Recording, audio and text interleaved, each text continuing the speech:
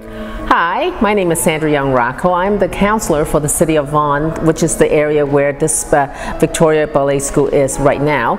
Um, I'm very happy to have uh, Victoria Ballet School here in our uh, City of Vaughan because they bring a lot of culture to our city and I've seen them grow from when they started at the very beginning to where they are now and it's spectacular. I just had a, a wonderful tour of their entire facilities and seeing the students and seeing how dedicated they are to the arts and to ballet is absolutely amazing. I think if we want to get serious about that ballet as a profession, as something that you want to be out there as a known as a ballerina, you do need that that time. You need that uh, those uh, those uh, instructions. The, the, the, that's why I think a day school like the Victoria uh, Ballet Academy is a perfect type of setting where the very best of the best comes here to learn and to really get themselves to be uh, to be perfect to go out there to be able to, uh, to compete international, to be able to be recognized internationally. Uh, I know that there's been already a few uh, graduates of the school and I uh, want to see more of these graduates because